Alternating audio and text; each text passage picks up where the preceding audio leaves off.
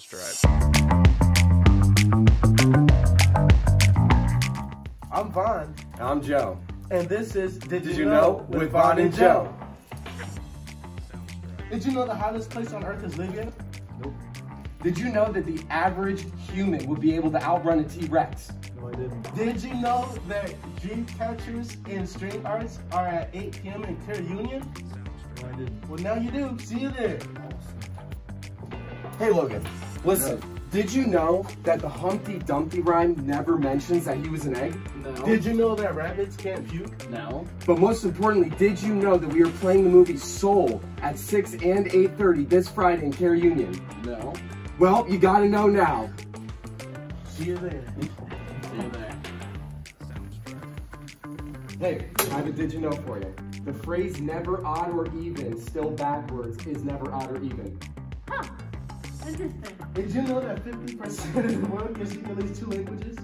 I did not know that. Well, you both need to know something, and I need you to know it now. There's going to be a board game face-off, okay, this coming Tuesday in Kehr Union, 7 to 10 p.m. Be there. Did you know that goosebumps are used to ward off predators? No. Did you know that the voice from Optimus Prime from Transformers was also the voice actor for Eeyore from Winnie the Pooh and Super Mario from Nintendo? No. Did you know there's a TikTok competition going on right now? Do you want to make one? No. No. How about now?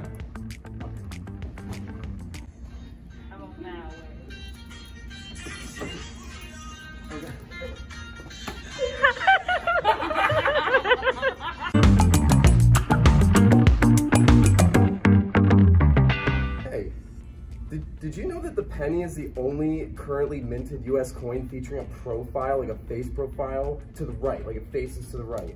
No, I didn't. Did, Did you, know, know with Vonn and Joe?